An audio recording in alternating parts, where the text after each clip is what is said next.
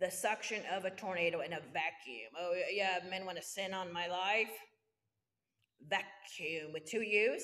Oh, you bet. You think so? Do you? Two U's? Vacuums and suck the life out of people? Like a catalytic converter.